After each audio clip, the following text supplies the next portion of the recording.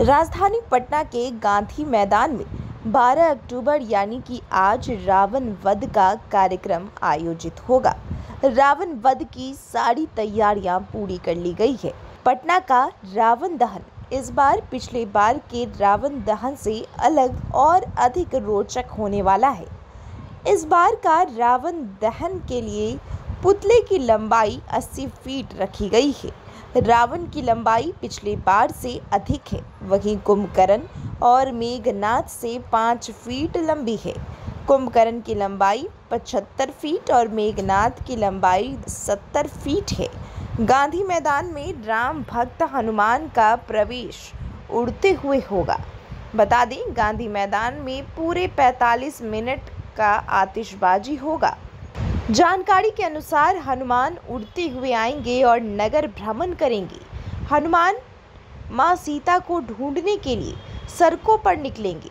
फिर नगर भ्रमण से लौटकर वापस नागा बाबा ठाकुरबाड़ी आएँगे, जिसके बाद ठाकुरबाड़ी से लंका दहन और रावण वध के लिए भगवान श्री राम की सेना की शोभा यात्रा निकलेगी। शोभा यात्रा निकलने से पहले सुंदरकांड का पाठ होगा।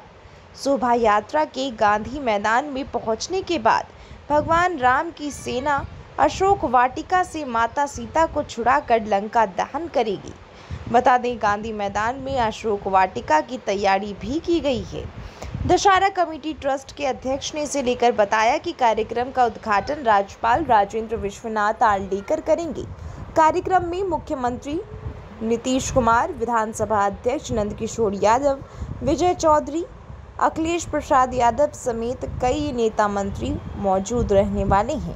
वहीं आम जनता के लिए गेट संख्या चार, पाँच, छः, सात, आठ, नौ, दस और बारह खुला रहेगा। मीडिया बंधुओं की सुविधा के लिए समुचित व्यवस्था की गई है। गांधी मैदान के दक्षिण पश्चिम स्थित गेट संख्या तेरह से मीडिया बंधुओं का प्रवेश होगा। दिनांक 12 अक्टूबर को एक बजे के उपरांत गांधी मैदान, पटना की तरफ़ वाहनों का प्रवेश वर्जित रहेगा। Bureau report news PR live, Patna.